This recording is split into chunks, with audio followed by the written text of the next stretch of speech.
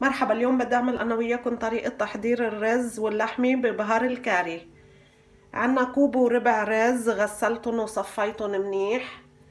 كوب مرقة اللحمة صفيتهم كمان هيدا الكوب اللي عيرت فيه الرز.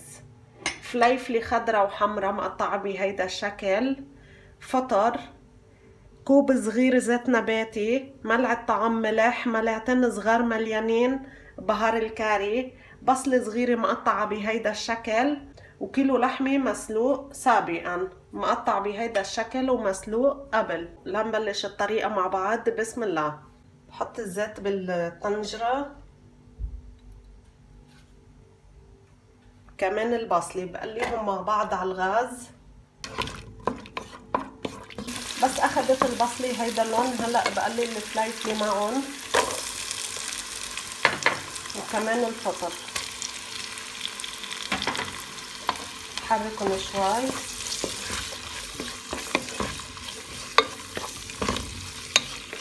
كمان بحط اللحمة.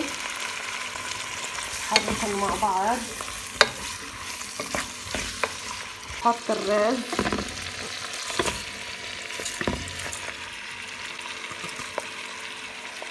مرقة اللحمة كمان. استعملت كوب مرقة لحمة وكمان بستعمل كوب مي. بحط بهار الكاري الملح. بحركهم مع بعض. هلأ بتركهن ليغلوا. بس صار في مي بهيدا الشكل بالرز. شفتوا كيف؟ هلأ بغطي الطنجرة وبخفف الغاز على الأخير. بعد حوالي 8 دقايق بتأكد من الرز إنه استوى. بسم الله. استوى الرز. هلا بطفي الغاز وبحطهم بوعاء هذا طبق الرز باللحمة وبهار الكاري. بتمنى يلي بيحضر الفيديو يبعت تعليق إذا عجبته الطريقة. أم لا وإن شاء الله بشوفكم بالفيديو الجاي. bye bye.